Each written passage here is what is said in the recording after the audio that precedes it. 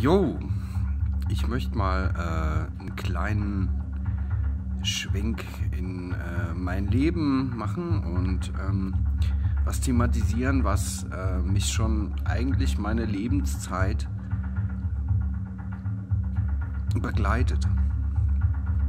Wir haben jetzt Weihnachten und so früher als Kind war das bei mir so, dass ich irgendwann festgestellt habe, so es geht um Geschenke.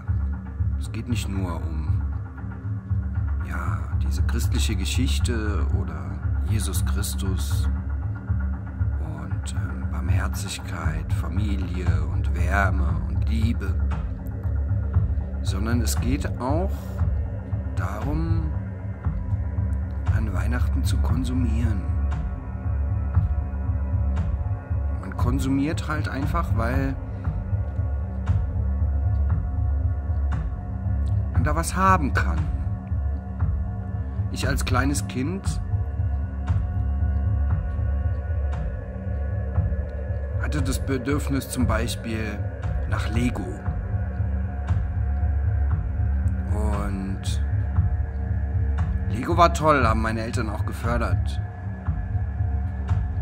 Und wenn ich dann einen neuen Kasten hatte mit irgendeinem ganz speziellen äh, Lego Baukasten, den ich halt einfach ähm, mir gewünscht hatte, dann war ich einen Moment lang glücklich und dann konnte ich da was bauen.